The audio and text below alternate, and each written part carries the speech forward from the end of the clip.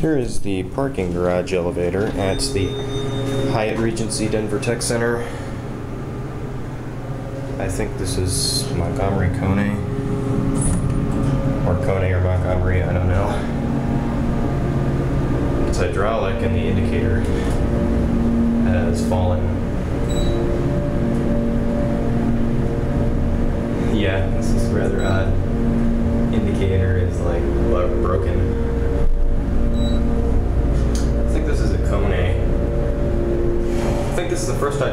Kone I filmed too. Yeah, Kone. Here's the top of the garage. Not too much to see. I don't want to abandon this elevator car. I'm gonna take it down to one, then I'm gonna grab the other one and see if it's any better. Look at the fixtures. Get cab view. Laminate wood floors. Uh, I think this is beige interior mostly. Fluorescent lighting. Rather plain disappointing interior. Here we are on one. I'm Gonna clean my lens quick, sorry about that. Hopefully that's good. I'll use my lens cleaner actually. Sorry, I have to clean that. Here, we'll send this one up to like four. And I'm gonna grab the other one.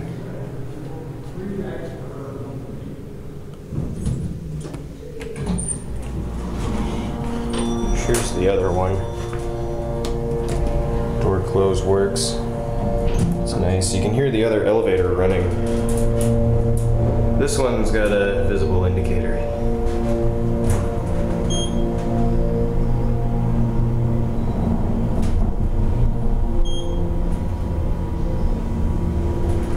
Like I'm shaking a little bit. Maybe that's just the elevator. This thing's vibrating pretty rough. Okay. yeah, that's not the best sounding thing. Back on top of the garage again. And regret- regrettably, I'm gonna take this one down. Holy crap. That was, that was scary. Something wrong with the uh, hydraulics on the fifth floor. I think it might be low on oil.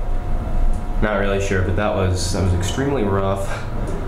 The cab looks identical to the other one, except for the carpet right there. Watch the button go out. There we go. Probably people out here.